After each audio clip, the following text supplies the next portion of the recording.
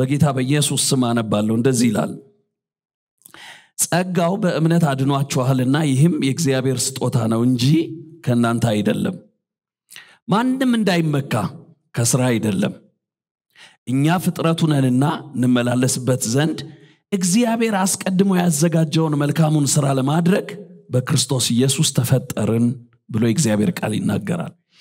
ይሄ እንግዲህ አሁን ያነበብኩት የኤፌሶን መልእክት ላይ ያለ ቃል ነው። እንደምታውቁት ይሄ የኤፌሶን መጽሐፍ ሐዋርያው ቅዱስ ጳውሎስ በእስር ቤት ሆኖ ከጻፋቸው መልእክቶቹ መካከል ነው እና አሁን ያነበብኳት ቁጥር ደግሞ ለክርስቲያን ወይም ደግሞ ለጴንጤው ማህበረሰብ በጣም ትልቅ ትርጉም ያላት ናት። እንደምታውቋት እነ ሉተርም የዛሬ አምስት መቶ ዓመት ገደማ እቺ ቃል ወይም እቺ እውነት ገብታቸው ነው ፕሮቴስት አድርገው የወጡት ወይም ተቃውሞ የወጡት እና እኔም ዛሬ እዚች ቃል ላይ ቆሜ ግን አንድ አንድ እውነት ነው ለእናንተ ልነግራችሁ የምፈልገው። ምንድነው ሲነግረን የሚጀምረው? ቁጥር ስምንት ላይ እንግዲህ ማንም እንዳይመካ ነው ሲጀምር የሚጀምረው ራሱ ማንም እንዳይመካ እና መመካት የሚፈልግ ደግሞ ካለ መመካት ይችላል። ግን የሚመካ ሁሉ በእግዚአብሔር ይመካ። ምክንያቱም ደግሞ ብሎ ሲናገር ምክንያቱም ሲናገር ማንም ምንም አስተዋጽኦ የለውም ራሱ ኢየሱስ ክርስቶስ ነው መስቀል ላይ ሰርቶ የጨረሰው። ማንም እጅ ያለበት ማለት አይችልም የደህንነት ስራ ላይ። ማንም እኔ እኮ የሆነ ነገር አዋጥቻለሁ ማለት አይችልም። ሁሉን ያደረገው ኢየሱስ ብቻውን ነው። ተጠማሁ ያለው ብቻውን ነው። የተገረፈው ብቻውን ነው። የተሰቃየው ብቻውን ነው። የተተፋበት ብቻውን ነው። እዛ መስቀል ላይ የዓለም ሁሉ ኃጢአት ተጭኖበት ስለ ሁላችን ኃጢአት የሆነውም ብቻውን ነው። ማንም አላገዘውም እና አባቴ አባቴ ስለምን ተውከኝም ያለው ብቻውን ነው። የተተወውም ብቻውን ነው። ከእኛ ጋር አብሮ አይደለም የተተወው። እና ይሄንን ሁሉ ያደረገው ኢየሱስ ብቻውን ስለሆነ የሰራው ሰርቶም የጨርሰው ብቻውን ስለሆነ ማንም መመካት አይችልም። ማንም ቀኝ አለበት ማለት አይችልም። ማንም እንደዚህ ያደረገ ማለት አይችልም ያደረገውን ሁሉ ያደረገው እሱ ስለሆነ መመካት የሚፈልግ በእሱ ብቻ ይመካ ነው የሚለው። እንግዲህ ትንሽ ይሄኛው እውነት ለሃይማኖት ሰዎች ትንሽ ይከብዳቸዋል እና ሁልጊዜ ለአይምሮ ሰዎችም የሚከብዳቸው ይሄ ነው እና እንደምታውቁት ሃይማኖቶች ሁሉ የሚያስተምሩት አድርግ በሚል ነው። እንግዲህ እና ብዙዎቹ የሚቸግራቸው የሚከብዳቸው ይሄ ነው። አሁን እናንተ ጸድቀናል ስትሉ አሁን ጸድቃችኋል ይላሉ። of course ጸድቀናል። ከሰው ተለይታችሁ እዛ ሩቅ ገዳም ሳትገቡ ሳንገባ ቅጠል ሳበጥሱ ሳንበጥስ እዛው ከፈለገ ጠላታችን ይበጠስ። እንደው ሽምብራ ሳንቆረጥም እዚሁ ማል ከተማ አዎ እዚሁ ሆነን። እንዴት ሆኖ? እንጃ። ግን የገባን እውነት አለ። ምንድን የገባችሁ መስቀል ላይ ኢየሱስ ጨርሶታል እና ሰጥቶናል። እኛ ደግሞ አምነናል። በእምነት እዚህ ጽድቅ ውስጥ ገብተናል። ይሄ እውነት እቺ ቁጥር የምትነግረን እውነት እሱ ነው። ይሄ ታዲያ የሆነበትን ዓላማ ነው እኔ ደግሞ ምነግራችሁ ዛሬ። ይሄንን እውነት ታቁታላችሁ እንደው ዝም ብዬ ለማስታወስ ያክል ነው። እና ይሄ እውነት የገባው ሰው ማንም በእግዚአብሔር የሚመካ ሰው መዳኑን በክርስቶስ ኢየሱስ በእምነት የተቀበለ ሰው አንድ ደግሞ የዳነበትን ዓላማ ማስታወስ አለበት ነው የሚለን ይሄ ጸሐፊ ምንድነው እሱ? እሷ ነው ዛሬ ምነግራችሁ እንደዚህ ይላል። እንግዲህ ሁላችሁም የዳናችሁት ይላል። የዳናችሁበት ምክንያት ደግሞ አስቀድሞ እግዚአብሔር ያዘጋጀው መልካም ስራ አለ ነው የሚለው። ይሄ በእምነት ሞኝነት ወይም ደግሞ በስብከት ሞኝነት አምኖ የዳነ ሰው የዳነበት ዓላማ አለው ነው። ወይም ደግሞ የሚጠበቅበት ነገር አለው ነው ምንድን ነው እሱ ብላችሁ እዚሁ ኤፌሶን ላይ ስጠይቁት እንደዚህ ነው የሚለው? አስቀድሞ እግዚአብሔር ራሱ ያዘጋጀው መልካም ስራ አለ። ለማ? ለዳኑ ሰዎች። እነዚህ የዳኑ ሰዎች ኢየሱስ መስቀል ላይ አምጦ ብቻውን ተጠማሁ ብሎ ተተውኩ ብሎ ጮሆ ተጣርቶ አምጦ በምጥ የወለዳቸው እነዚህ ሰዎች የሚጠበቅባቸው ደግሞ ስራ አለ ነው የሚለው ምንድነው ይሄ ስራ? ምንድነው ይሄ ስራ? እዚህ ጋር ሲነግረው ሲናገር በደፈናው እንደዚህ ነው የሚለው። አስቀድሞ እግዚአብሔር ያዘጋጀው መልካሙን ስራ ትሰሩ ዘንድ እግዚአብሔር ደግሞ አዳናችሁ ነው የሚለው። በክርስቶስ በኩል እንደገና እንደውም ፈጠራችሁ ነው የሚለው። ይሄ ደህንነት እንደገና መፈጠር እንደሆነ ነው አርጎ የሚነግረን። እሺ እሱ ምንድን ነው እሱን ነው እኔም ዛሬ ልነግራችሁ የፈለግኩት። የመጣሁትም እሱን ልነግራችሁ ነው። እንግዲህ እሱን ደግሞ ለማወቅ ወደ መጀመሪያው መመለስ አለብን። አደለ ወደ መጀመሪያው መመለስ አለብን። እና ወደ መጀመሪያው ስንመለስ እንግዲህ እንደምታውቁት ወይም እንደምታስታውሱት መጽሐፍ ቅዱሳችሁን ስታጠኑ ዘፍጥረት ላይ እግዚአብሔር ፍጥረትን ሁሉ ፈጥሯል በስድስት ቀን ውስጥ። በመጀመሪያ ቀን እንትን ሰማይና ምድርን ፈጠረ ፀሐይን ፈጠረ ከዋክብት እንደዚህ ያደረገ እንደዚህ ያደረገ እንደዚህ ያደረገ እንደዚህ ያደረገ ይልና እስከ አምስተኛ ቀን ብዙ ፍጥረታትን ሁሉ ፈጥሮ ጨርሷል ግን ይገርማቸዋል ስድስተኛ ቀን ላይ ቆም ብሎ እግዚአብሔር የፈጠረውን ሁሉ ፍጥረት አየ። እግዚአብሔር ማንም ሊገመግመው ስለማይችል ማንም ልክነ ልክ አደለህም ጥሩ ነው ጥሩ አደለም የሚለው የለም የእሱን ስራ። ስለዚህ እንደዚህ ያደረገ የራሱን ስራ ራሱ ገመገመና እንደዚህ ያለ መልካም ብሎ ዘጋው። የራሱን ስራ ራሱ ብቻ መገምገም ስላለበት ወይም የሚችለው እሱ ብቻ ስለነበረ መልካም ብሎ የሰራውን በእነዚህ አምስት ቀናቶች የሰራውን ስራ መልካም ብሎ ግምገማውን ዘጋው። ግን ስድስተኛ ቀን ላይ እንደዚህ ያለ የሚጎል ነገር አለ። የተፈጠሩት ፍጥረቶች በጣም ቆንጆ ናቸው መልካም ነው የሚባሉት በእግዚአብሔር አይን ሲታዩ ግን ልጅ የሚሆን የለም። አንበሳ ደስ ይላል ያስፈራል ሞገስ አለው ግን ልጅ አይደለም ሰማይ ደስ ትላለች ግን ልጅ አይደለችም። ለዚህ ነው ስድስተኛ ቀን ላይ የእግዚአብሔር ቃል ሲነግረን እንደዚህ ነው የሚለው ኑ እንውረድ ሰውን በመልካችን እንደ ምሳሌያችን አድርገን ንፍጠር አለ። እግዚአብሔር ሰውን ኑ እንውረድ በመልካችን እንደ ምሳሌያችን አድርገን እንፍጠር ያለበት ምክንያት ሰው ከፍጥረት ሁሉ ውድና ድንቅ ሆኖ እንዲኖርለት ነው። እሱም ደግሞ ምን ሆኖ? ልጅ ሆኖ እንግዲህ ቅድም ወደ ነገርኳችሁ ቃል ልመልስና ላስታውሳችሁ። ኤፌሶን ላይ እንደዚህ ነው የሚለን። እንግዲህ አስቀድሞ ያዘጋጀውን መልካም ስራ እንድትሰሩ እግዚአብሔር ደግሞ በክርስቶስ ኢየሱስ ዳግመኛ ፈጠረን ነው የሚለው። የተፈጠርንበት ዓላማ ምንድን ነው ዘፍጥረት ላይ ስንመጣ ሰው የተፈጠረው ይገርማችኋል የእግዚአብሔር ልጅ እንዲሆን ነው። እደግመዋለሁ። ይሄ በጣም እውነት ስለሆነ እግዚአብሔር ሁሉን ፈጥሯል። መልካም ነው ግን ልጅ አይደለም። ሰውን ደግሞ በስድስተኛው ቀን ፈጥሮታል። በጣም እጅግ መልካም ነው ደግሞ ልጅ ነው። ይሄ ሰው ደግሞ የእግዚአብሔር ልጅ ነው። እና እግዚአብሔር ሰውን ሲያይ ባሪያ ሆኖ እንዲኖር ሳይሆን የሚፈልገው ልጅ ሆኖ እንዲኖር ነው። ይገርማቸዋል በጣም ስማርት ሰባኪ እንድንሆን አይደለም የሚፈልገው እግዚአብሔር ልጆች እንድንሆን ነው በጣም እግዚአብሔር ደስ የሚለው በጣም ብዙ አገልጋዮች ሲያይ ሳይሆን ብዙ ልጆች ሲያይ ነው። ምክንያቱም አባት ባሪያ ሲበዛለት ሳይሆን ልጆች ሲበዙለት ነው የሚደሰተው። እና አስቀድሞ ያዘጋጀው መልካም ስራ ለእኛ እግዚአብሔር ልጅነት ነው። እና ጳውሎስ የሚያስታውሰን እሱን ነው። አስቀድሞ ያዘጋጀው መልካም ስራ እንድትሰሩ እግዚአብሔር በክርስቶስ ኢየሱስ በኩል ፈጠረ እንደገና። እሱ ምንድን ነው ልጅነት። ዛሬ እንደ እሷን ብታቁትም ላስታውሳችሁን የመጣሁት። የልጅነት ክብራችሁና የልጅነት መንፈሳችሁን እንዳትለቁት። እሱን ያዙ። ሁሉ ደስ የሚለው ከልጅነት ሲቀዳ ነው። አገልግሎት ከልጅነት ሲቀዳ ደስ ይላል ፍቅር ከልጅነት ሲቀዳ መስጠት ከልጅነት ሲቀዳ ማምለክ መዘመር ከልጅነት ሲቀዳ በጣም ነው ደስ የሚለው። ግን አገልግሎትም መስጠትም ሁሉም ነገር ከባርነት ሲሆን በጣም በጣም ጥሩ አይደለም። ደስም አይልም ሞገስም የለውም። ልጅ ነን የምንለውን ሀሳብ ደግሞ ዝም ብሎ ከማለት ያለፈ በደንብ መኖር አለብን። ልጅ ሆኖ በጣም ብዙ ሰው የሚያስጨንቀው ስለ ማገልገሉ እንጂ ስለ ልጅነቱ አይደለም አንድ እውነት ልንገራችሁ። አገልጋይነት ስልጣን አይደለም ባርነት ነው። ፓስተርነት ባርነት ነው። ነቢይነትም እንደዛው ዘማሪነትም እንደዛው። በፍጹም ሁሉም አገልግሎት ቤት ማጽዳት ቢሆን ናታኒምነት ሁሉም ሁሉም ባርነት ነው። ስልጣን አይደለም። ልጅነት ግን ባርነት አይደለም ስልጣናችሁ ነው።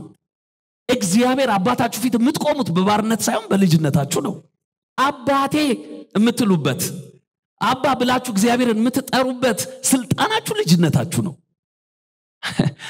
ሁልጊዜ መጽሐፍ ቅዱስ ውስጥ ሳነበው በጣም የሚያስቀኝ የሚያሳፍረኝ በጣም ብዙ ጊዜ እየዘጋው እየከደንኩ በጣም እየከፈትኩ ማጠናው የእግዚአብሔር ቃል ቢኖር ሉቃስ 15 ላይ ያለውን ቃል ነው። ሁለቱ የምታውቋቸውን ልጆች አሉት አደለ አንድ አባት ሁለት ልጆች ነበሩት ነው የሚለን። አንድ ትንሽና አንድ ትልቅ እና ትንሽየው ድንገት ተነስቶ አባዬ ንብረት አካፍለኝ አለው። እና ንብረት አካፍለኝ አለው እና ጠየቀው ተካፍሎ ሄደ እና ጨረሰ። እና ሲጨርስ የሚበላው አጣ። በኋላ የአሳማ አሰር መብላት ሲያምረው እንኳን አልቻለም። ምክንያቱም እዛ ሰው ቤት ስለሆነ ባሪያ ነው እና ባሪያ ደግሞ መብት የለውም እና የእግዚአብሔር ቃል ሲናገር ወደ ልቡ ሲመለስ አባቴ ቤት እኮ አገልጋዮች በልተው ይተርፋቸዋል። እና ወደ አባቴ ቤት ተመልሼ እኔም ከዚህ በኋላ ባሪያ ሆኜ ለምን አልኖርም ብሎ ወደ ልቡ ተመለሰ እና አሰበ እና መጣ እና መጣ። አባትየው ደግሞ ውጭ ነበር የሚጠብቀው እና አገኘው። እየሮጠ መጣ። ተጣራ። አባዬ ብሎ ተጣራ። ጥሪው ራሱ እንደዚህ ነው። አባዬ ብሎ ነው የጠራው ወየ ልጄ አለው። እና እንደዚህ አለው አባዬ በሰማይና በምድር በድያለሁ አለው። አባቱ አልካደም ልክ ነህ በድልሃል አለው። ምክንያቱም አባት በህይወት እያለ ሳይሞት መውረስ በጣም ነውር ነው። ባይዘዌ እስራኤላውያኖቹ ኢየሱስ ይህንን ምሳሌ ሲነግራቸው ልጁ አጠፋ ሲላቸው አይደለም የተናደዱት። አባት በህይወት እያለ ልውረስ ብሎ መጠየቁ ነው ያናደዳቸው። እና አጥፍቻለሁ ሲለው ልክን አጥፍተሃል አለው እና ከዚህ በኋላ ደግሞ ልጅ መሆን አልችልም አንተ ጋር እና ባሪያ ሆኜ እባክ እንጀራ ልብላ አለው። አባትየው እንደዚህ አለው። በሰማይና በምድር በድያለሁ ያልከው ትክክለኛ እውቀት ነው። ግን እዚህ ቤት ደግሞ ባሪያ ልሁን ያልከው ልክ አይደለም ምክንያቱም አንተ ልጄ ነህ። ሰራተኛ ውስጥ ቤት ያሉት በጣም ጥሩ ጥሩ አገልጋዮች አሉኝ። ከእነሱ መካከል በጣም ጥሩ የሚባለው ተመርጦ ቢመጣ ልጅ ሊሆን አይችልም። እሱ ባሪያ ነው አንተ ግን ልጅ ነህ ባሪያ ልትሆን አትችልም። እንደለመድከው ውጭ ወተ ሌላ ሰው ቤት ስትሄድ ባሪያ ልትሆን ትችላለ እዚህ ቤት ግን አንተ ልጅ ነህ አለው። እዚህ ቤት እኮ እኛ ልጆች ነን። እዚህ ቤት እኛ በፍጹም ባሪያ አይደለንም። አገልግሎት እንደነገርኳችሁ ነው ቅድም። የምናረገውን ሁሉ ብናረግ ከልጅነት የወጣ የፍቅር ምላሽ እንጂ በፍጹም ማንነታችን አይደለም የእኛ ማንነት እዚህ ቤት ልጅነት ነው። ኢየሱስ ጌታ ነው። እዩት። ትልቁ ደግሞ እርሻ ቦታ ነበርና ከእርሻ ሲመለስ የዘፈን ድምፅ ሰማ ይላል እና ጫጫታ አለ ቤቱ ሞቅ ብሏል በጣም ተደስተዋል። እና ግራ ስለገባው ጠየቀ። አንዱን ቤት ውስጥ ያለ ሰራተኛ ጠራና ምንድን ነው እኛ ቤት የሆነው ዛሬ አለው። ከዛ እንደዚህ አለው አባትህ ያ ትንሽ ወንድምህ ሞቶ ነበር አለን። ትዝ ይልሃል? ሲለው አዎ አለ። አሁን ደግሞ ተነስቶ መጣ ብሎ ተደስቷል። ልጄ ሞቶ ነበር አሁን ተነስቶ መጣ ብሎ ተደስቶ። እና ይገርመሃል በጣም እናንተም ደስ ይበላችሁ ብሎን ያማረ ልብስ አልብሶታል አለው። ቀለበት አድርጎለታል ጫማ አድርጎለታል በጣም ትልቅ ክብር ሰጥቶታል አለው። ደግሞ ይገርመሃል ያ ደግሞ የሰባውን በሬ ትዝ ይልሃል? ያ የሰባው ወይፈን አለው። ቤት ውስጥ ካለው ጥሩ ዋናው አለው። አዎ ሲለው እሱም ታርዶለታል አለው። እና እናንተም ደስ ይበላችሁ ብሎ በቃ ለዚህ ነው የሚጨፈረው አለው። ትልቅ ወንድም ትንሽ በስጨት አለና የሮጠ ቤት ሄዶ አባዬ አንድ የውጭ እንነጋገር አለው። እሺ ብሎ ወጣ አባት። ከዛ ነገረው። እኔ ምልህ እኔ እዚህ ቤት ውስጥ ባሪያ ሆኜ እየኖርኩ ነው አለው። እሺ አለው። ለእኔና ለጓደኞቼ አንድ ፍየል እንኳን አላረድክልንም አለው። ይሄ ልጅህ ግን ጠፍቶ ነበር። ሲመለስ ቤት ውስጥ ያለውን ትልቁን ፍሪዳ አረድክለት። ይህንን ሁሉ ክብር ሰጠኸው አለው። አባትየው ሰማ ሰማነ ሲጨርስ እንደዚህ አለው። ታዲያ ጥፋቱ የኔ አይደለም አለው። እንደ ማን ነው ጥፋቱ? እንዴ አንተ ነዋ? እንዴት ሲለው እንደዚህ አለው እንዴ አንተ እኮ እዚህ ቤት ባሪያ አይደለህም ልጅ ነህ። መኖር የነበረብህ እንደ ባሪያ ሳይሆን እንደ ልጅ ነው። ይገርመሃል እንደ ልጅ ደግሞ እዚህ ቤት ውስጥ ስትኖር አንድ ፍየል አይደለም እኔ ራሴ አንተ ነኝ አለው። ለካ ሰው አባቱ ቤት እንደ ባሪያ ሲኖር ጭንቅላት ውስጥ ትልቅ እዩት ፍየል ነው። በጣም ይቅርታ እኔ መጽሐፍ ቅዱስ ስለሚል ነው እኔ አይደለሁም ያልኩት። ልጁ ጭንቅላት ውስጥ ትልቅ ፍየል ነው የእኔ ወንድሞች እዚህ ቤት እዚህ ቤት ለእኛ ትልቅ በፍጹም ገንዘብ አይደለም። እዚህ ቤት ለእኛ ትልቅ አገልግሎት አይደለም። እዚህ ቤት ለእኛ ትልቅ የሆነ የምናደርገው activity አይደለም። ልጅነታችን ነው። ለምን ካላችሁኝ ደግሞ እዚህ ቤት የሰጠን የሆነ ነገር ሳይሆን ራሱ እግዚአብሔር የኛ ነው። እስቲ በደንብ አሜን በሉ በሉና እግዚአብሔር የኔ ነው እንደሚል ሰው አሜን በሉ እስቲ yes ይገርማችኋል። የእግዚአብሔርን ደግሞ ወራሽነት የምናረጋግጠው በልጅነታችን ነው። ስለዚህ ሁሌ ቀንም ሌሊትም ስተኙም ስትነሱም ይህን እንድታስቡ እግዚአብሔር ይፈልጋል። ልጅ ነኝ። ልጅ ነኝ። ማረጋውን ነገር ሁሉ ከልጅነቴ የተቀዳ ነው። ዋና ነገር የዚህ ቤት ውስጥ ልጅነቴ ነው። ለምን? እንደነገርኳችሁ ነው እግዚአብሔርን ያሰጠኝ ልጅነቴ ነው። አባ አባ ብዬ የምጣራበትን የልጅነት መንፈስ ያገኘሁት በልጅነቴ ነው። እናስ ሁሉም ማረገው ነገር የሚቀዳው ከልጅነቴ ውስጥ ነው። ይሄ የኤፌሶን መጽሐፍ እሱ እንድናስታውስ ነው የሚነግረን። ማንም እንዳይበካ ለምን? ክርስቶስ ነው ሰርቶ የጨርሰው እሺ መመካት ብንፈልግስ በእግዚአብሔር ተመኩ ለምን? እሱ ሰርቶ ስለጨርሰልን እና ምንድን ያደረገን? ይገርማችኋል ሰርቶ በጨረሰው በዚህ በደህንነት ስራ ውስጥ በእምነት ስንገባ ልጆች ነው ያደረገን። አስቀድሞ ያዘጋጀውን ይሄንን መልካም ስራ እንድንሰራ ነው እግዚአብሔር በክርስቶስ ኢየሱስ እዚህ ደህንነት ውስጥ ያስገባን። እሱ ስራ ምንድን ነው ልጅነት። አጠገባችሁ ያለውን ሰው አንዴ ላስቸግራችሁ። እንዳትረሳ ልጅ ነህ በሉት። እዚህ ቤት በሉት። እግዚአብሔር ያንተ ነው በሉት እንዳትረሱ። እዚህ ቤት ስትመጡ እግዚአብሔር የእናንተ እንደሆነ አስባችሁ ነው። አባቴ እናንተ እንደሆነ አስባችሁ ነው። የሆነ ነገር ሳይሆን ራሱ እግዚአብሔር እናስ የምናደረገውን ነገር ሁሉ ከልጅነት ውስጥ እንደሚቀዳ አስባችሁ ነው። ኢየሱስ ጌታ ነው። እሺ እችን ቃል ልጨምርላችሁና ከዛ በኋላ ጥቂት ነገር ተናግሬ እንጸልያለን። እንግዲህ ልጆች ከሆንን ደግሞ አንድ ነገር አለ። ማለት እግዚአብሔርን የምንመስለው እሺ በምናችን ነው። መቼም በአይን በአፍንጫ እንደማንል እርግጠኛ ነኝ። ምክንያቱም እግዚአብሔር መንፈስ ነው። እና መንፈስ የሆነውን እግዚአብሔርን እሺ በምናችን ነው የምንመስለው። እና ልጅነታችን ምናችን መስሎት እግዚአብሔርን ይግለጠው? የሚል ጥያቄ ቢነሳባቸው እሱን መመለስ ስላለብኝ ነው እዛው ዘፍጥረት ላይ እግዚአብሔር ቃል ሲናገር እንግዲህ እንደነገርኳቸው ሰውን ከፈጠረው በኋላ በመልካችን እንደ ንፍጠር ልጅ ይሁን ብሎ ከፈጠረው በኋላ አዳምና ሔዋንን ይዟቸው ወጥቶ የነገራቸውን ቃል ነው የምነግራችሁ። እንደዚህ ያላቸው በሰማይ ላይ የሚበሩትን ሁሉንም አሳየውና አንድም ሳይቀር ሁሉንም አሳየውና ግዛ አለው አደለ ከዛ ቀጥሎ በምድር ላይ የሚንቀሳቀሱትን ሁሉንም አሳየው በሆዳቸው የሚሳቡትንም በሁለት እግር በአራት እግር የሚሮጡትንም ሁሉንም አሳየውና እነሱንም ግዛ አለው። ከዛ መጨረሻ ሶስተኛ ላይ ደግሞ ባህር ውስጥ ወሰድና ባህር ውስጥ ያሉትን ፍጥረት እንዳለ አሳየው። አዳምና ሔዋን ምንም ያላዩት ነገር የለም። ሁሉንም አይተው ሲጨርሱ እግዚአብሔር እንደዚህ ያላቸው ግዙ። ይሄ የእግዚአብሔር መልክ ነው። ማንም የእግዚአብሔር ልጅ ነኝ የሚል ሰው በመግዛት ነው እግዚአብሔርን መምሰል ያለበት። እዩ። በክርስቶስ ኢየሱስ የሞትና ትንሣኤ ደግሞ የልጅነት መልክና ክብር የተመለሰልን ገዥነታችን ነው። አዳም ገዢ ነበረ ይሄ እግዚአብሔር መልክ ነበረ። ኃጢአት አይገዛውም ክፋት እርግማን አጋንንት አይገዛውም ነበር እሱ ግን ይገዛቸው ነበረ። በኃጢአት ምክንያት አዳም ያስወሰደው ነገር ገንዘብ አይደለም። አዳም የተወሰደበት እውቀት አይደለም በኃጢአት ምክንያት አዳም ያጣው ልብስ አይደለም ቤት አይደለም። አዳም ያጣው ገዥነቱን የተነጠቀው። ኃጢአት ይገዛው ጀመር ሞት ይገዛው ነበር እርግማን ክፋት ሁሉም ይገዛው ጀመር።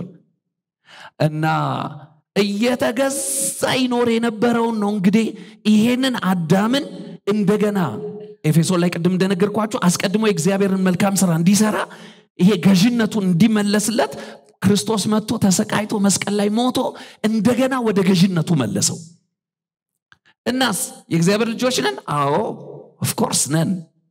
እንዴት ይገለጥ? በመግዛት። እንዴ በደንብ ግዙ እንጂ። ስትገዙ እግዚአብሔር የእሱ መልክ እየታየበት ደስ ይለዋል። ስትገዙስ እግዚአብሔርን አትመስሉ። በፍጹም በፍጹም ፍቅራችሁ እየተገዛባችሁ ከሆነ እግዚአብሔርን እየመሰላችሁ አይደለም። ትህትናችሁ ቅድስናችሁ ጽድቃችሁ እየተገዛባችሁ ከሆነ በፍጹም እግዚአብሔርን እየመሰላችሁ አይደለም። አምልኳችሁ ሞገሳችሁ የሆነ ነገራችሁ እየተገዛ ከሆነ በፍጹም ገንዘብ ከገዛው ዘረኝነት ከገዛው ክፋት አመፅ ከገዛው በፍጹም እግዚአብሔርን እየመሰላችሁ አይደለም። እግዚአብሔር የትም ገብቶ የማይሆንለት ነገር መገዛት ነው አይሆንለትም። ትዝ አይላችሁም? የኤሊ ልጆች ታቦቱን ይዘው ወደ ውጊያ ገቡ። የእግዚአብሔር ቃል እንደዚህ ይላል። እነሱ ሞቱ እና ታቦቱን ማርከው ፍልስጤም ይዘውት ሄዱ አደለ እና የእግዚአብሔር ቃል ሲነግረን እንደዚህ ይላል። ፍልስጤሞች እንደዚህ ያሉ በጣም ደስ አላቸው በጣም ደስ አላቸው። እልል ጨፈሩ። እና ታቦቱን አምጥተው ዳጎን ጋር አስቀመጡትና እንደዚህ ያሉ ንግግር ሲያደርጉለት። ይኸው እግዚአብሔርን አሸንፈን ይዘነው መጣን። በቃ አሉና ዳጎን ጎን አስቀምጠው ትሄዱ እና ደርሰው ሲመለሱ ቤተ መቅደሱን ሲከፍቱ የጣዖቱን ቤት ዳጎን ለታቦቱ ሰግዶ አገኙት እና ተናደዱ። የኛ አሸንፈን አመጣ ነው አይደል? ምን ያሰግድሃል ብለው ደጋግፈው አቆሙት። ደጋግፈው ሲያቆሙት እንደገና ሄደው ሲመጡ የዳጎን ጭንቅላት ተነቅሎ በሩ ስር ወድቋል። እጅ እግሩ ፈራርሷል። እና ምን ጉድ ነው ብለው ግራ ሲጋቡ የእግዚአብሔር ቃል እንደዚህ ይላል ፍልስጤም አምስት ከተሞች አሏት አዛጦን አቃሮን ምናም ይባሉ። አምስቱንም ከተሞች እግዚአብሔር ህዝቡን እንዳለ በእባጭ መታቸው ይላል። እና የህዝቡ ገዢዎች ተሰብስበው እንደዚህ ያሉ ይሄ እግዚአብሔር በፍጹም ማንም ሊገዛው አይችልም። እሱ ግን ሁሉን ይገዛል። ምናልባት ህዝቡን ልናሸንፈው እንችላለን። እሱን ግን አሸንፈን ልንገዛው አንችልም። እናስ ሳይጨርሰን ሳናልቅ በፊት እዛ ወደ ለመደበት ወደ እስራኤል ህዝብ እንስደደው አሉ። እና እንደዚህ ይላል አምስቱም ከተሞች አምስት የወርቅ ስጦታ አድርገውለት ታቦት ውስጥ ምርኮ ማርኮ ብቻውን ተመለሰ። እግዚአብሔር አምላካችን ገዢ ነው። የትም ገብቶ እግዚአብሔር መግዛት እንጂ መገዛት አይፈልግም። የኔ ወንድሞችና እህቶች ግዙ እንጂ ግዙ በገባችሁበት። እሱ ነው የእግዚአብሔር መልክ። አትገዙ። እሺ አትበሉ። እንደው ልመርቃችሁ። ቀኛችሁን ከፍ አርጉና ሲጮኋችሁ አሜን በሉ። እኔ ልመርቃችሁ። በቆማችሁበት ቦታ ሁሉ እግዚአብሔር ገዢዎች ያርጋችሁ ስራ ቦታ ቤተሰብ መሃል እንደ ሀገር በእግዚአብሔር ልጅ በኢየሱስ ስም መግዛት ይሁንላችሁ። እገዛለሁ የሚል ሰው ካለ ጮኸ አሜን ይበለኝ። እፎይ ልመርቃችሁ ልመርቃችሁ በደንብ ከልቤ ልመርቃችሁ። እንደው እናንተን ያየ ሁሉ የእግዚአብሔርን መልክ አይቶ እርክት እስኪል ድረስ ልመርቃችሁ በደረሳችሁበት መግዛት ይሁንላችሁ ያያችሁ ሁሉ ስትገዙ ሳይሆን ስትገዙ አይቷችሁ ይደሰት። እኔ መርቃችኋለሁ። ቤተሰብ መሃል ስትገቡ በጌታ በኢየሱስም ገዢዎች ያርጋችሁ። ዳላባሻ ካራ ፓራዲያስ ኃጢአትና እርግማኑ እባብና ጨለማው እናንተ እግር ስር በኢየሱስም ይገዛ።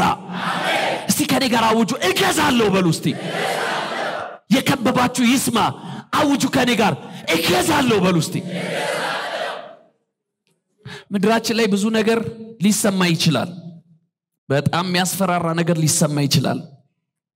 እንዴት እንሆን ይሆን? የሚያስብል ነገር ብዙ ነገር ልንሰማ እንችላለን። ጉዳዩ ነው። እኛ በጣም ልዩ ዓለም የምንኖር ሰዎች ነን።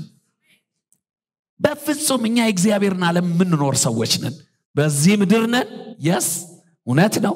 እዚህ ኢትዮጵያ ውስጥ በደንብ ብንሆንም ግን ይገርማቸዋል እኛ ልዩ ዓለም አለን በጣም ልዩ ዓለም አለን። ደግሞ በክርስቶስ ቅድም እንደነገርኳቸው የተመለሰልን እውነት እሱ ነው አደለ ኢየሱስን እዩት እዩት የትም ቦታ ሲገዛ አታዩት። በፍጹም ጉባኤ ሲገባ እዩት አጋንንቶች ዝም ብለው ነው የሚጮሁለት። የእግዚአብሔር ልጅ ሊሉ ሲሉ ገና ሲጀምሩ የአጋንንት ምስክርነት አይሰማም እሱ አንድ የ after ና before ልቀረጽ ብናስቲ ምናምን አይልም። ማና አንተ? ምናምን ጊዜም የለውም ኢየሱስ። ውጣ ውጣ ምናምን ነው የሚለው። ዋይ ምናምን ብለው ሲወጡ ፈሪሳውያን ጸሐፍቶቹን እዩዋቸው የሚሉትን እንዲህ ይሄ አዲስ ትምህርት ነው ይላሉ። ምኑ ሲሏቸው እንደዚህ ይላሉ። የሚያስተምረው እንደ ጸሐፍት እንደ ፈሪሳዊ አይደለም። አይለማመጥም እንደ ባለስልጣን ነው ገዢ ነው ደግሞ አጋንንትንም በስልጣን ያስወጣል እነሱም ይገዙለታል። ይሄ አዲስ ትምህርት ነው አሉ። አዲስ ትምህርት አይደለም አዲስ ትምህርት አይደለም። አዳምን እግዚአብሔር ገዢ ነው ያደረገው። በኃጢአት አስወስዶት የነበረውን ነው ኢየሱስ የመለሰው። እኔም ልመርቃችሁ እግዚአብሔር ገዢ ያርጋችሁ። በጸሎት የምትገዙ ሰዎች በጽድቅ በቅድስና የምትገዙ ሰዎች ዝም ብላችሁ በገባችሁበት ቦታ ፍቅራችሁ በኢየሱስ ስም ይግዛ። ፎይ የሚገዛ ፍቅር።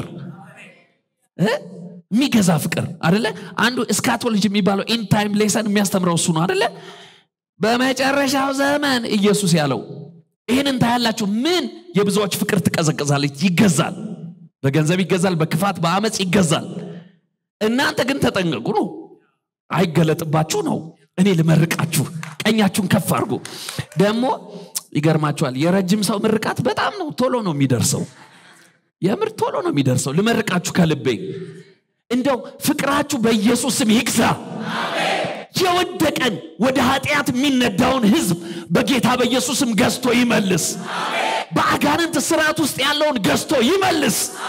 ጸሎታችሁ በጌታ በኢየሱስ ስም ይግዛ። መግዛት መግዛት በቃ እግዚአብሔር መልኩ እሱ ነው ደስ የሚለው እሱ ነው።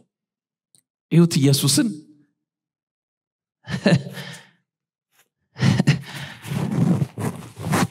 ይሁት ኢየሱስን።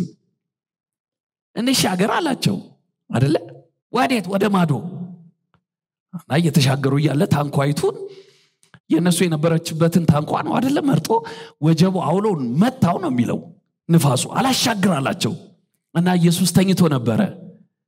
እና ቢታገሉ ቢታገሉ ቢታገሉ እምቢ ስላላቸው አይሎ ሲመጣ ሄዱና ኢየሱስን ጠሩት። ጌታ ያሉት አቤት ቀስቅሰው። ስንጠፋ አይገድህም እንዲህ ያሉት ማለት ራስም ልጠፋ ነው ነው ራስን አድን ነው። እና ኢየሱስ ተነሳና አልተጨነቀም ግራ አልተጋባም ምንም አላለም። መጣና ንፋስ ወጆብ አውሎ ዝም ጭጭ በሉ አላቸው። እና ዝምን ማን እንደወሰደ ጭጭን ማን እንደወሰደ እኔ እንጃ ግን ተከፋፈሉት እነሱ። ዝም ጭጭ የሚለውን ተከፋፍለው ዝም ጭጭ ሆነ ታላቅ ጸጥታ ሆነ እና ደቀ መዛሙርቶቹ ተገረሙና እዛው ጋር እንደዚህ ያሉ ይሄ ወጀብ አብሎ ንፋስ የሚገዛለት ማን ነው ብለው ጠይቁና ሲመልሱ እንደዚህ ያሉ የእግዚአብሔር ልጅ ነው። ለካ የእግዚአብሔር ልጅነት መገለጫው መግዛት ነው። ሞኞች እንዳትሆኑ የኔ ቤተሰቦች። ስትገዙ አይደለም የእግዚአብሔር ልጅነት የሚገለጠው በጣም ነው ማዝነው አሁን በጣም ብዙ ሰው እየሰበከ እንደኔ ይገዛል። በጣም ብዙ ሰው በዘሩ ይገዛል። ኦሮሞ ትግሬ ምናም ይላል። አንዳንዱ በኃጢአት ይገዛል በእርግማን ይገዛል በገንዘብ ይገዛል። በጣም በብዙ ነገር ይገዛል ሰው። ፍቅሩ ይገዛበታል ጸሎቱ ቅድስናው ጽድቁ ብዙ ነገሩ እየተገዛበት ነው። ለየት በሉ እሻት በሉ። ማንም ልግዛችሁ ሲላችሁ እሻት በሉ አንዴ በደሙ ኢየሱስ ገዝቶናል እኛ ደግሞ ከኢየሱስ ጋር አብረን እንገዛለን። አንገዛም በፍጹም አንገዛም በፍጹም እሻት በሉ። እሱ የእግዚአብሔር መልክ አይደለም። እንደነገርኳችሁ ነው። እኔ ሁለት የእግዚአብሔር ነገሮች በጣም ነው የሚገርሙኝ። አንደኛው ይሄኛው ነው ገዥነቱ ነው። እንደነገርኳችሁ እግዚአብሔር የትም ገብቶ መግዛት እንጂ መገዛት አይፈልግም። ሁለተኛው እግዚአብሔር የቱንም ያህል ጥግ ሄዶ ሰውን ይቅር ማለት በጣም ነው ደስ የሚለው። እግዚአብሔር ይቅር ማለት አይከብደውም። ጥግ ድረስ ሄዶ ነው ይቅር የሚለው። አካብ ትዝ አይላችሁ? የእግዚአብሔር ቃል ሲናገር እንደ አካብ ያለ እስራኤልን ያሳተ ደግሞ በሚስቱ የተነዳ የለም ነው የሚለው። በጣም ነው የሚገርመው። እና እዩት ኤልዛቤል ጣዖት በጣዖት ነው ያደረገችው። የእግዚአብሔርን ነቢያቶች ጨርሳ የሚገርማችሁ የበዓል ነቢያቶችን ያበዛቸው እዩት በጣም ነው የሚገርመው። ከሱም አልፋ ደግሞ እኮ ናቡቴን አስገደለች። ማለት አካብ ሄዶ ሲነግራት ጾም አውጃ ገደለችው። እና ናቡቴን አስገድሎት አካብ ሲሄድ ኤልያስ መጣና እንደዚህ አለው። አንተ ንጹህን ደም አፈስስ ካለል አለው። ከዛ ቀጥሎ ነገረው። እንደዚህ ይልሃል እግዚአብሔር አትቀበራትም። ውሾች ናቸው ደምህን የሚልሱት ኤልዛቤልንም ውሾች ናቸው ደሟን የሚልሷት። በፍጹም እንደዚህ በክብር አትቀበሩም ሲለው አካብ ቅዝዝ ብሎ ተሰብሮ ሲሄድ እግዚአብሔር ወዲያው መጣና ኤልያስን ሂድና ሰውየውን ተገናኘው አለው። እቤቱ ሳይገባ እኮ ነው። ለምን ሲለው እንዴ ይቅር ብያለሁ በቃ በለው አለው። ኤልያስ ተናደደ። ለምን ትለዋለህ ሲለው እንደዚህ አለው። እንዴ ሰውየው የውል ልቡ ተሰብሮ እያየሁት እንዴት ይቅር አልለውም ይቅር ብያለሁ በቃ አንተ በሰላም ትቀበራለህ በለው አለው። በጣም የእግዚአብሔር ምህረት የሚገርም ነው። የእግዚአብሔር ደግነት የሚገርም ነው።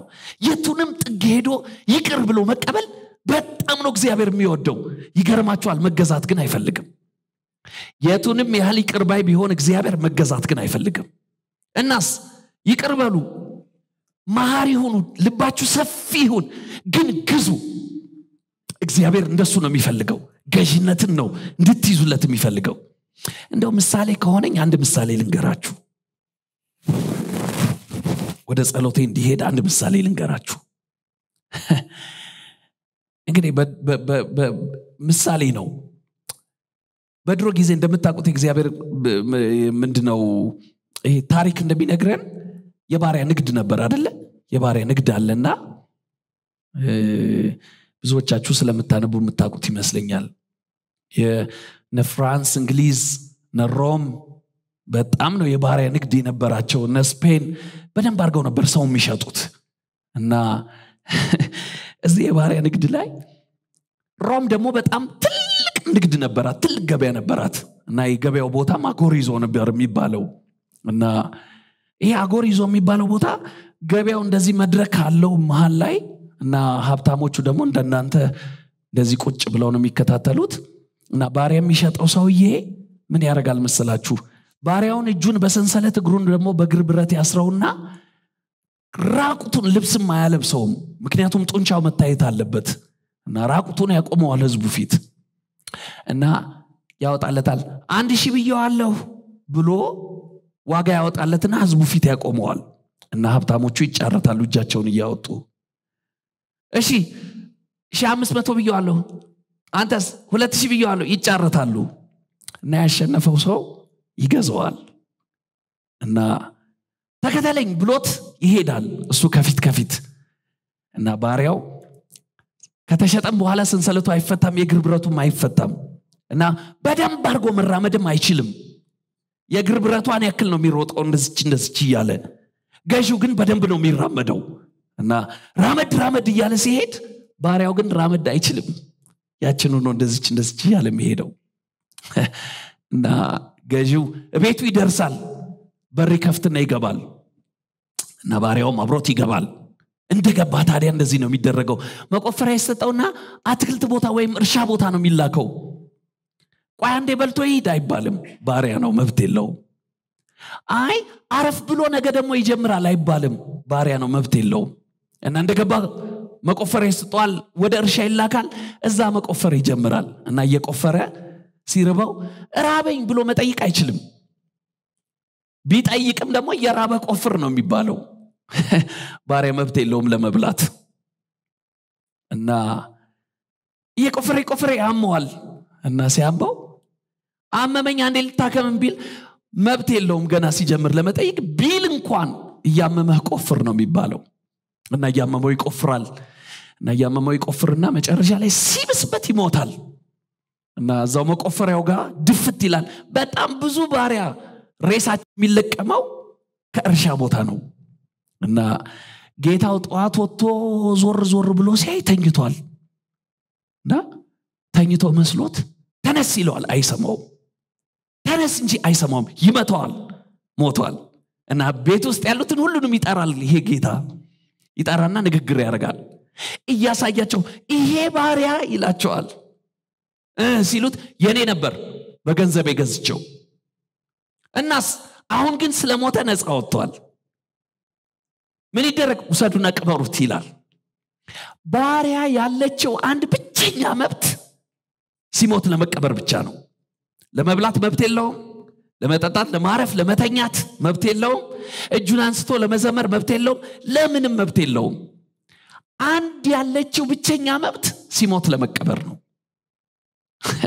ለዚህ ነው ጳውሎስ ከሞት በቀር ለሞት ከተሸጠ ከዚህ ከኃጢአተኛ ስጋ ማን ይለየኛል ያለው እንደሱ ነው። አያችሁ በቃ ለሞት ነው የተሸጠው። ከሞት በቀር ባሪያን ነፃ ማውጣት የሚችል የለም። እንደምታውቁት ሁላችንም ደግሞ ባሪያ ነበርን በአዳም ምክንያት አደለ ኃጢአት እርግማን አጋንት ሁሉም ነበር የሚገዛን። እና እንደ አጎር ይዞ ያለ ገበያ ላይ ቀርበን አንድ ቀን የሚገዛቸው ሲባል አንድ እጅ ወጣ። ትገዛለ ሲባል አዎ አለ። ስንት ከፍላለ ሲባል ደሜን አለ። እና ደም የሚከፍል እዛ ገዢዎቹ መሃል ስላልነበረ ደስ ሳይላቸው ሰጡት። እና ኢየሱስ ሁላችንን ጠቅልሎ ተሸከመንና ይዞን መጣ። እና ኢየሱስን ይዘው መጥተው መስቀል ላይ ሲሰቅሉት አብሮን ተሰቀልን ይዞን ተሰቀለ ማለት ይዞን የተሰቀለው አደለ አልወጣችሁ መስቀል ላይ? ወጥተናል። ይዞን ተሰቀለ ኢየሱስ። እና ገዢዎቻችን ደግሞ እየተከተሉን ነበረ። እና አዩን። ከዛ በኋላ ኢየሱስ ሲሞት አብረነው ሞትን እዛው። እና ኢየሱስን ለቼክአፕ ነው ጎኑን ሲወጉት ደም ፈሰሰ እዳ ተከፈለ። እና ኢየሱስ ሞቷል አሉና አወረዱት። ሁላችንም እኛ ከኢየሱስ ጋር ወረድን። እና ኢየሱስ ሞት አሉት። አብረነው ሞትን እናወረዱና መቃብር ወስደው ቀበሩን ከተቱን። እና ኢየሱስን ሲቀብሩት እኛም አብረን ተቀበርን። እና ኢየሱስ ላይ ድንጋይ ዘጉበት አብረን ተዘጋብን ማንም እንዳይከፍት ብለው ማተባተሙ አሸጉበት። እኛም ላይ ታሸገ እና ገዢዎቻችን እዛ ጋር ተለያየን። ኃጢአቱም እርግማኑም አጋንቱ ሁሉም ይገዙን የነበሩት ንግግር አድርገው ተመለሱ። እነዚህ ባሪያዎች አሉ ሲባሉ የእኛ ነበሩ። እናስ ይሄ ኢየሱስ በደሙ ገዝቷቸው ይዟቸው ሞተ። አሁን ስለ ሞቱ ከኢየሱስ ጋር ነፃ ወጥተዋል። የኛ አይደሉም እሱ ይዟቸው የእሱ አድርጎ ሞቷል ይዟቸው ሄዷል ብለው ከመቃብር መልስ ተመለሱ ገዢዎቻችን። ኢየሱስ በትንሣኤ መንፈስ በሌላ በር ይዞን ተነሳ። የሚያምርባችሁ ስትገዙ ነው ስትገዙ አይደለም።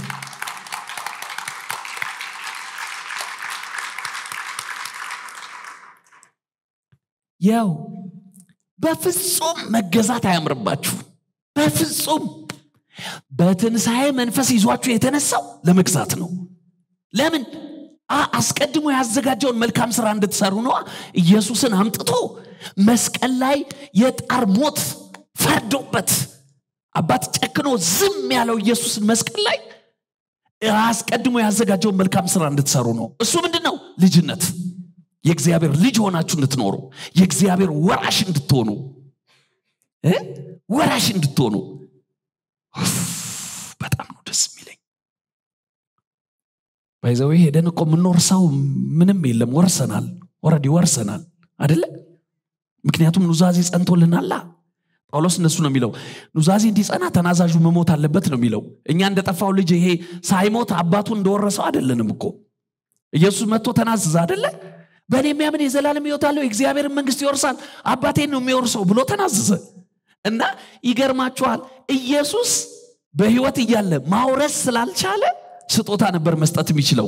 ሉቃስ ወንጌል ምዕራፍ 10 ላይ ትዝ ይላችኋል አደለ ሰባዎቹን ጠራና እንደዚህ ያለ ስጦታ ስጣቸው አጋንንት አስወጡ ስበኩ እንደዚህ አርጉ አገልግሉ ብሎ ስጦታ ሰጣቸው እና ሄደው አገልግለው ሲመለሱ በጣም ተደስተው ሪፖርት አድርጉለት ለኢየሱስ።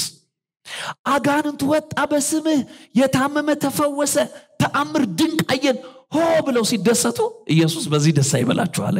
ደስ ስለማይል አይደለም። በጣም ነው ደስ የሚለው። ግን እንደዚህ ያላቸው እቺ ስጦታ ናት። ይገርማችኋል። ውርሱ ይሻላል አለ። ምንድነው እሱ?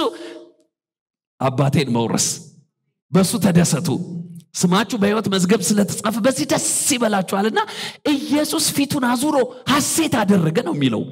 በውርሱ ማለት ነው የኔ ቤተሰቦች ወራሽ ያደረጋችሁ እኮ ልጅነታችሁ ነው። ጌታ ይባረክ። ልጅነታችሁ ደግሞ የሚገለጠው በገዥነታችሁ ነው። እንዳትገዙ እንዳትገዙ። ቢደክማችሁም እየደከማችሁ ግዙ? ቢያቅታችሁም እያቃታችሁ ግዙ። እጃችሁን እንዳትሰጡ። ደግሞ እናንተ ኢትዮጵያዊ ናችሁ። ኢትዮጵያዊ እንኳን ይሄ ቃል ገብቶት በርቶለት አይደለም የአፄ ቴዎድሮስ ወኔ ያለው አይደል? እጅ ስጥ አሉኝ እሳት ምን እጅ አለውና ይሰጣል ብለዋል አይደለ ብለዋል አይደለ እሳት እጅ የለውም። በፍጹም እኛ ለመገዛት የሚሆን እጅ የለንም። ለመግዛት ግን አለን። እግዚአብሔር አምላካችን አባታችን የሚደሰተው ስንገዛ ነው። የመጨረሻ ንገሩልኝ። አጠገባችሁ ላለው ሰው እንዳትረሳ በሉት። እግዚአብሔር አባት ነው። አንተ ደግሞ ልጅ ነህ። የእግዚአብሔር የአባትህ መልኩ መግዛት ነው። አንተም ግዛ። የሚያምርብህ ስትገዛ ነው። አሜን። ቆም ብለን እንጸልይ ከኔ ጋር ጥቂት ደቂቃ